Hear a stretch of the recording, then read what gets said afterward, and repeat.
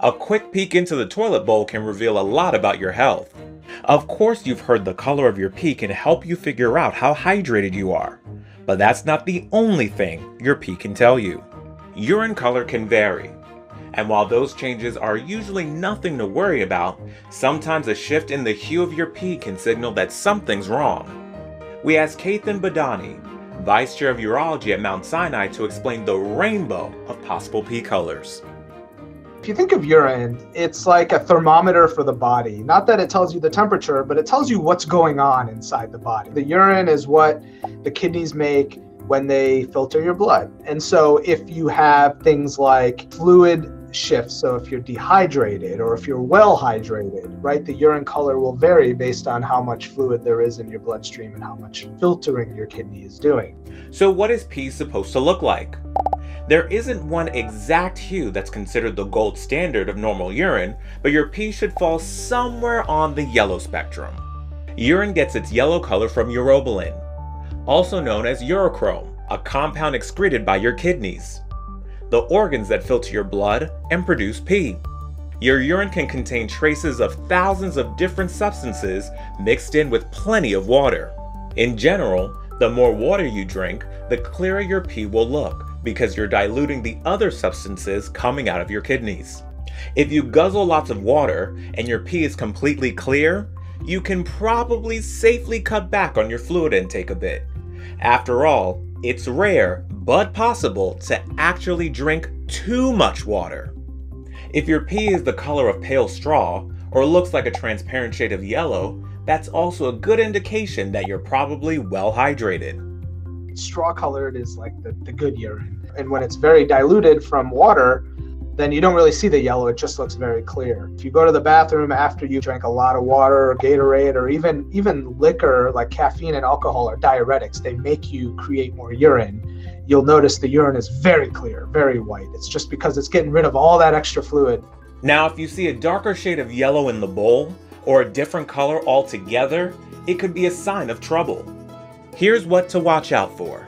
If your pee is dark yellow, like amber or honey, or dark orange, you might not be consuming enough water.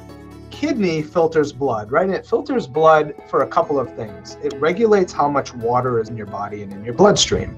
On the flip side, if you're dehydrated, if your body's saying, we need more water, we need more fluid, what it does is it actually sucks water back into your body from the kidney. So urine is made, and then there's a mechanism that says we need actually all the water we can get.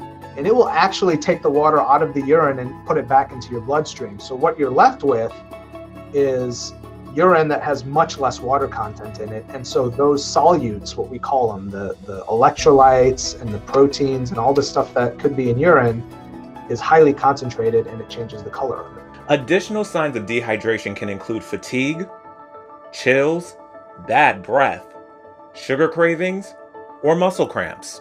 First, try upping your water intake. Doctors recommend 1.5 to 2 liters of water daily, in addition to other fluids. If that doesn't help, schedule an appointment with your doctor to rule out any other issues. Keep in mind too that certain medications can turn your pee dark yellow or orange. Examples include phenazopyridine, a treatment for pain for a urinary tract infection, or UTI, and sulfasalazine, a treatment for ulcerative colitis.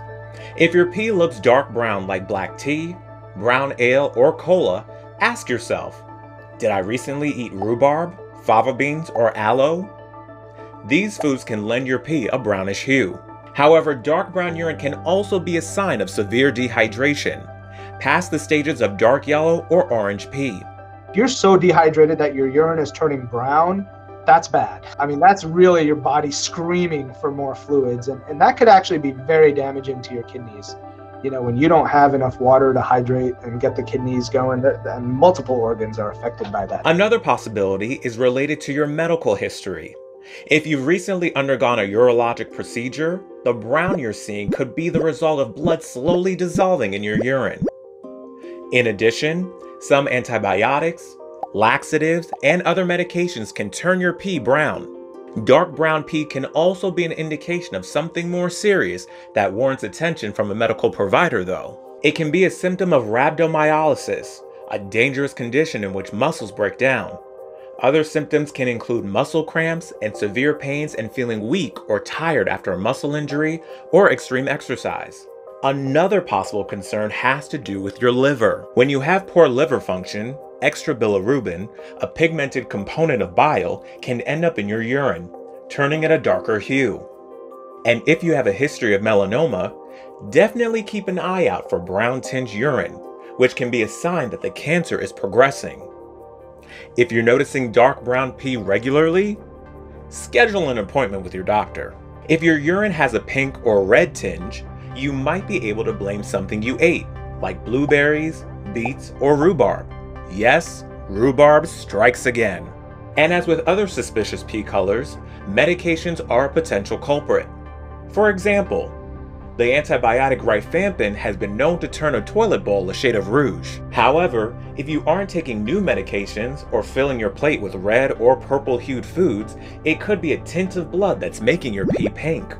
Make an appointment with your doctor to rule out a UTI, kidney stones, or another condition. The thing to keep in mind that can fool people sometimes is that when you look in the toilet and you see blood, that could also come from other places, which could be nothing. It could just mean that you wipe too hard or something like that.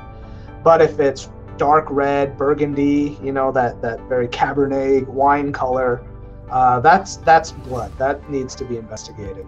If you see blue or green in your toilet, you might be tempted to panic. Fortunately, these scary looking urine colors often have innocuous explanations. Green or blue dye in something you ate could be the cause of your cool tone tingles. Asparagus can also lend a green tinge to pee, in addition to its infamous smell. Several medications, from heartburn reducers to muscle relaxers, can also make your pee blue or green. There are some distinctive urinary um, urine infections that cause your urine to turn green. They're, they're not common infections, uh, but fungus and yeast can cause the urine to look a greenish hint. Um, there's a bacteria called Pseudomonas which can be found in the urine, and that can give it a green hue. Um, and usually there's an odor and, a, and other signs of infection, right? Burning, pain, fevers, other things. Rarely, blue or green urine can be a sign of familial hypocalciuric hypercalcemia, a rare genetic disorder. Going to Google and looking up pee color, I highly recommend against it. Urinary color is just not specific enough to tell you enough about what's going on. It's, it's, it's enough to worry you for no reason. So if you have other symptoms and you have a change in your pee quality, then you can ask a healthcare professional to look into it. But if it's just a normal variation of yellow, morning, evening, next day, that's normal. The bottom line is that when it comes to your pee, a mellow shade of yellow is best. Sometimes your diet or medication can change things up, and occasionally something more serious is going on. If you're concerned about what you see before you flush, contact your healthcare provider.